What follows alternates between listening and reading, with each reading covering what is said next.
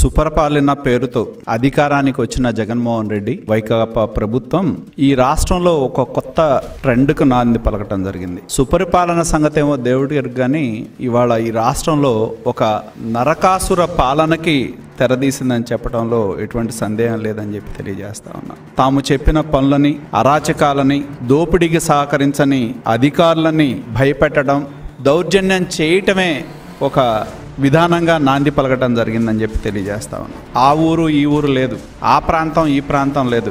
రాష్ట్రంలో నలు మూలలా కూడా ఎంతో మంది అధికారుల మీద వాళ్ళు మహిళల లేకపోతే దళితుల అణగారిన వర్గాల ప్రజల అనే దాంతో సంబంధం లేకుండా ఈ రాష్ట్రంలో విచ్చలవిడిగా అధికార పార్టీకి సంబంధించిన ప్రజాప్రతినిధులు నాయకులు అధికారుల మీద తమకు సహకరించని వ్యక్తుల మీద తమ యొక్క అరాచకానికి ప్రశ్నించే అధికారుల మీద దౌర్జన్యం చేయటం అనేది మనం చూడటం జరిగిందని చెప్పి నేను తెలియజేస్తా ఉన్నా. ఎందుకంటే మనం ఒక ఉదాహరణ తీసుకుంటే ఒక మాస్క్ లేదని అడిగిన దళిత డాక్టర్ సుధాకర్తో మొదలు పెడితే ఏ విధంగా అతన్ని పలు చిత్రహింసల పాలు చేసి మానసికంగా ఎన్నో రకాలుగా ఇబ్బంది పెట్టి చివరికి ఒక పిచ్చివాడిగా ముద్ర వేసి అతనికి మరణానికి ఈ ప్రభుత్వం బాధ్యమైంది.